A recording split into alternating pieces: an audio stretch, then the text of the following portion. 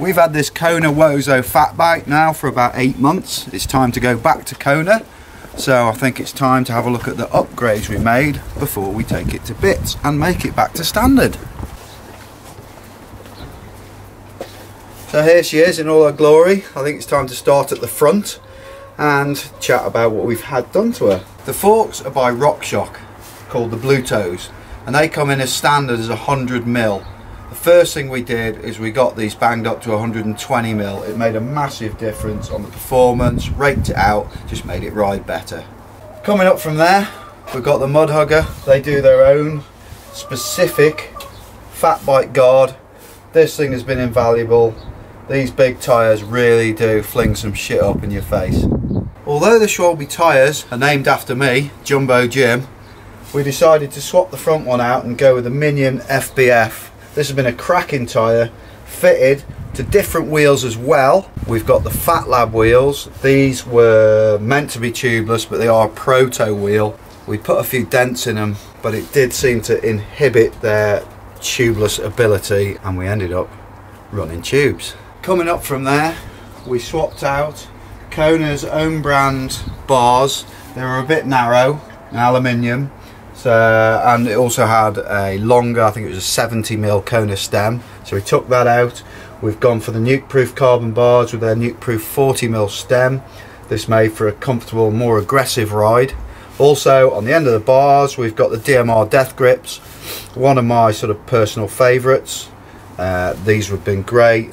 We have the soft ones, not too sure on the soft, they wear out about a bit quickly, but a great grip in all.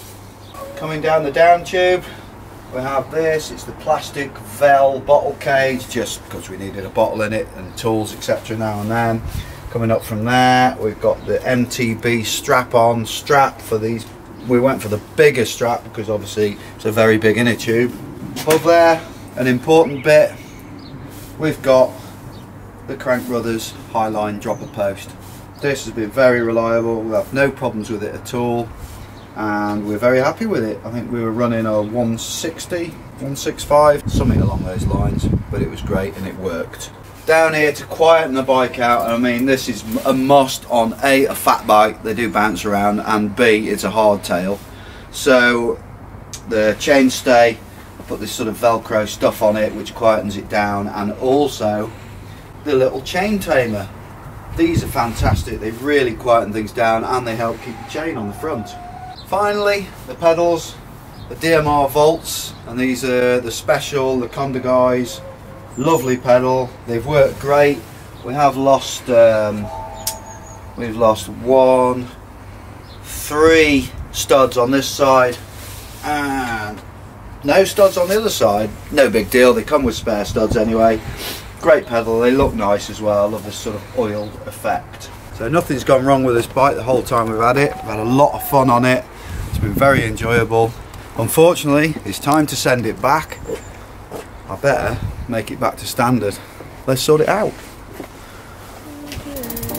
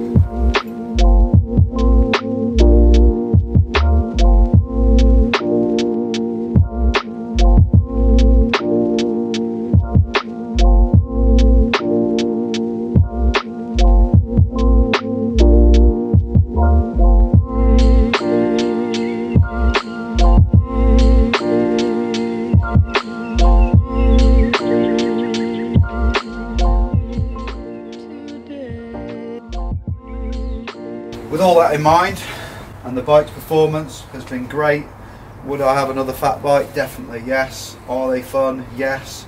Is it a different type of riding? I'd say so. It's not like riding a normal hardtail, so we're a little bit sad for it to go back. If you want to see our original thoughts on how this bike rode, click the link here and you'll see our first review. Keep it pinned folks.